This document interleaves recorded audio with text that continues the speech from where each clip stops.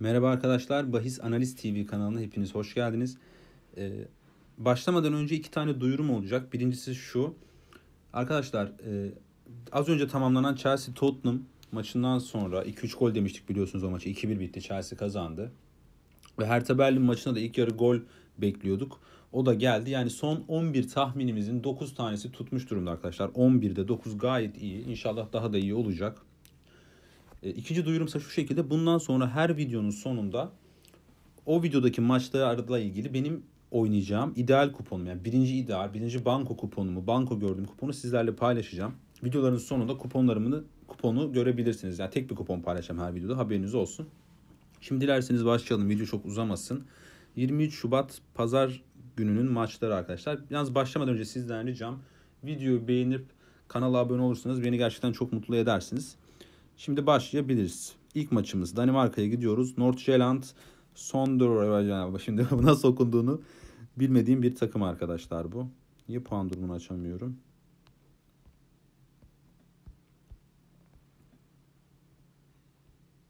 Hı, evet.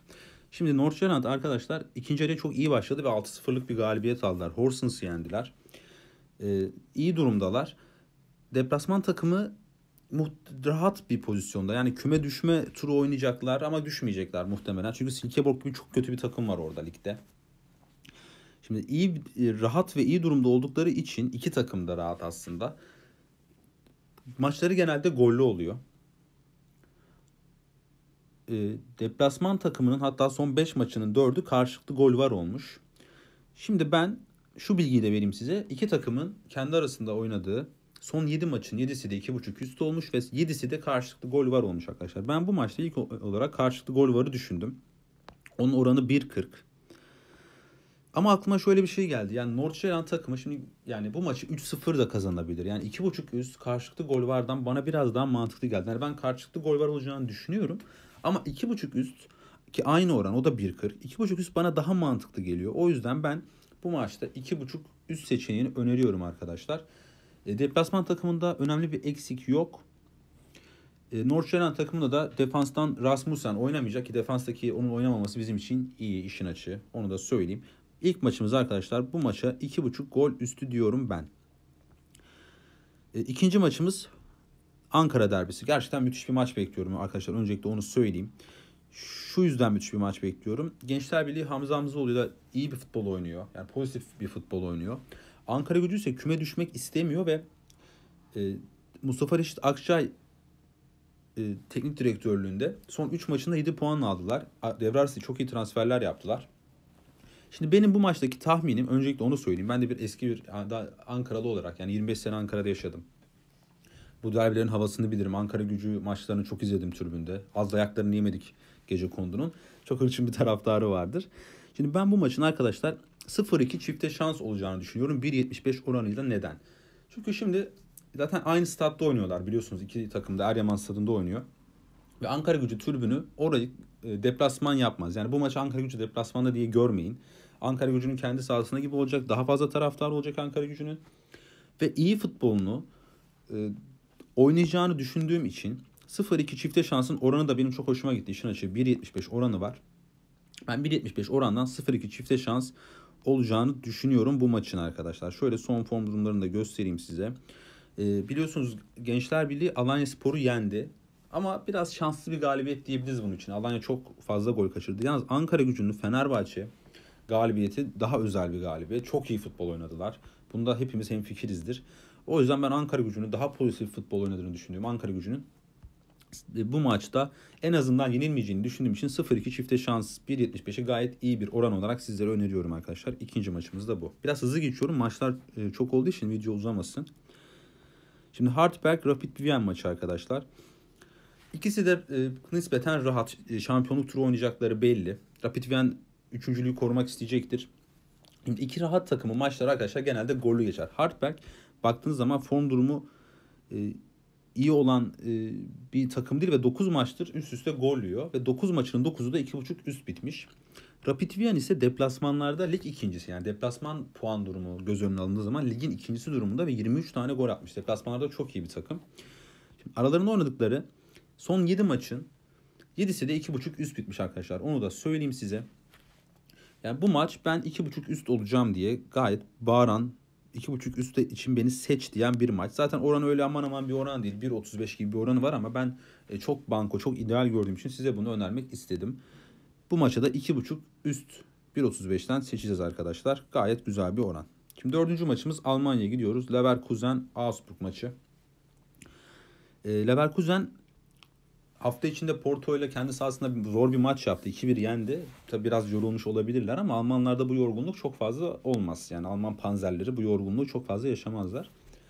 Şimdi Leverkusen'in şöyle bir durum var arkadaşlar. 2020'de 5 yani 2020 yılında en fazla puan toplayan isim, en fazla puan toplayan takımla e, Almanya'da daha doğrusu ikinci takım bir tek Bayern Münih onları geçmiş. 12 puan toplamış Bayer Leverkusen, 13 puan toplamış Bayern Münih. Yani gayet formda bir Leverkusen var onu söylemek istiyorum. Augsburg takımı ise arkadaşlar son 3 deplasmanınız son 3 deplasman maçında skor üretemeden kaybetti ki bunun bence başta sebebi Augsburg'un eksikleri arkadaşlar. Çok fazla eksiği var. Yani uzun zamandır bunlar eksik. Ee, ve şöyle bir ikisi arasındaki maçlarda şöyle bir durum var arkadaşlar. Augsburg Leverkusen'i lig tarihi boyunca hiç yenememiş. Yani 18 maç yapmışlar ve 18 maçları hiç yenememiş. Leverkusen cephesinde de çok formda Volant isimli golcü var. Yani Volant 9 gol 7 asiste gerçekten inanılmaz bir performans gösteriyor ki Leverkusen'in son 9 maçının 9'da 2.5 üst bitmiş. Şimdi ben bu maçta Leverkusen'in ilk 4'ü çok istediğini bildiğim için bu maçı da kesinlikle kazanacağını düşünüyorum. Birin, e, maç sonucu birin oranı 1.35. Biraz oran arttırmak isteyenler 2.5 gol üstü ve 1'e de gidebilirler arkadaşlar 1.67'den. Ben daha ideal, daha risksiz olduğunu düşündüğüm için. Çünkü Avrupa'da maç yapmışlar. Hani 1-0, 2-0 bitebilir. O yüzden direkt maç sonucu 1, 1.35'ten direkt maç sonucu 1'i sizlere öneriyorum. Bence günün bankolarından biri de bu. Evet arkadaşlar şimdi 5. maçımız Silkeborg Kopenhag. Yine Danimarka'ya gidiyoruz. Kopenhag e, biliyorsunuz geçen sezonun şampiyonu. Şu anda da e, maç yani 7 puanlık bir fark yediler Midtjylland'dan. Yalnız rakip çok zayıf. Yani Silkeborg e, bu ligin çok zayıf bir ekibi.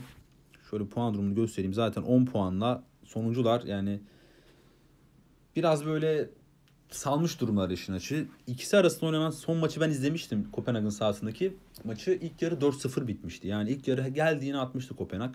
Kopenhag biraz bu takıma fazla geliyor işin açığı. Şimdi ikisi arasındaki maçlara baktığımız zaman 7 maçtır yeniyor Kopenhag Silkeborg. İçeride dışarıda yeniyor ve 19 maçın, birlikte oynadıkları 19 maçında 14'ünü kazanmış.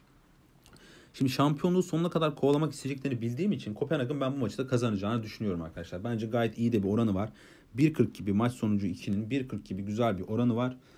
E şimdi eksiklerde şöyle bir durum var. Kopenhag'da 8 asistli orta saha oyuncusu Victor Fischer sakat olduğu için oynamayacak. Ev sahibi gibi ekipte de takımın en gol isimlerinden 2 gol yani en gol ismi 2 gol atmış düşünün arkadaşlar.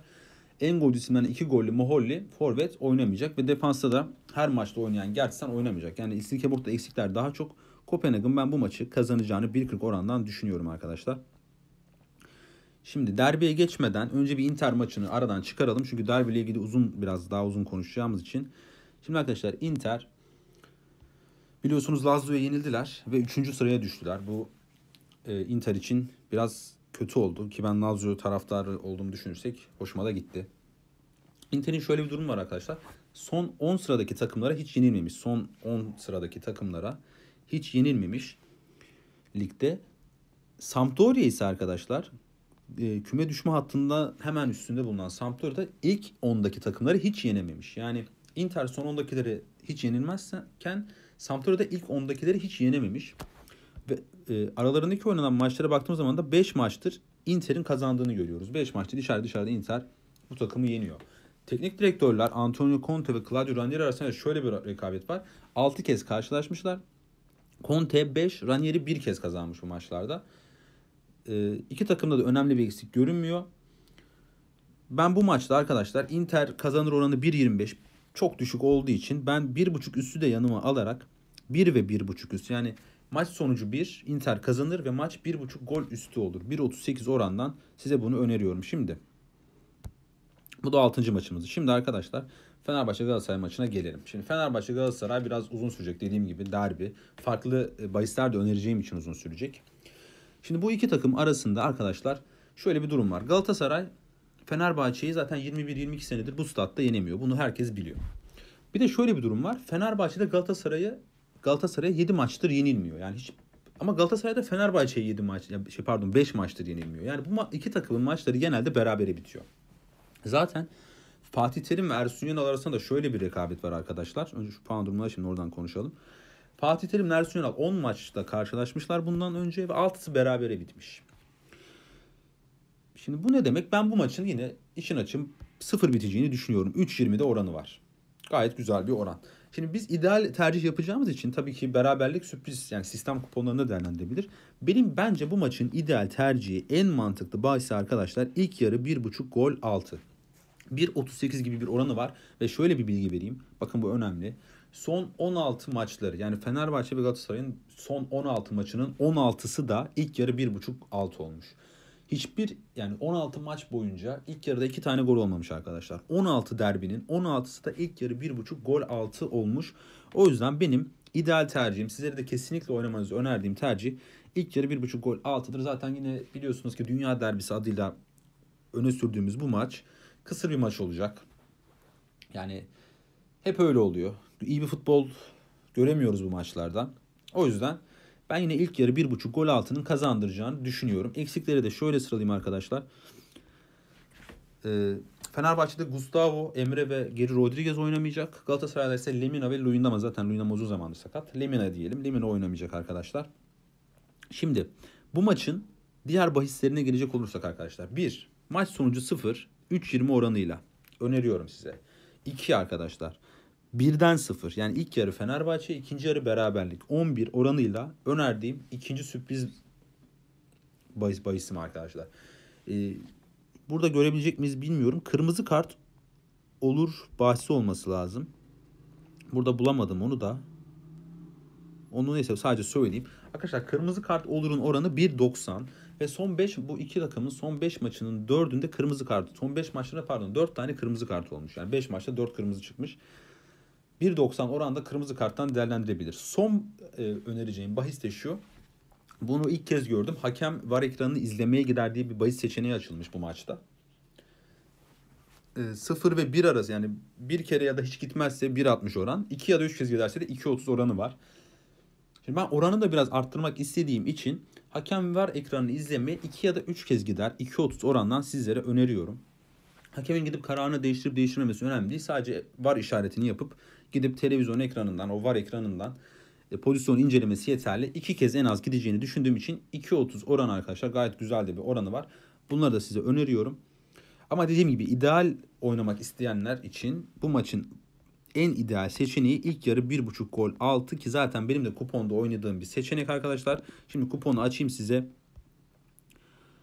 Nerede kupon evet. Arkadaşlar oynayacağım kupon bu şekilde. Bayer Leverkusen maç sonucu 1. Fenerbahçe Galatasaray ilk yarı 1.5 gol altı. Ve Inter Sampdoria 1 ve 1.5 gol üstü arkadaşlar. Umarım e, tutar bu kuponumuz. Umarım siz de oynar ve kazanırsınız. Videoyu beğenirseniz bana çok büyük destek olursunuz arkadaşlar. Teşekkür ediyorum. Görüşmek üzere.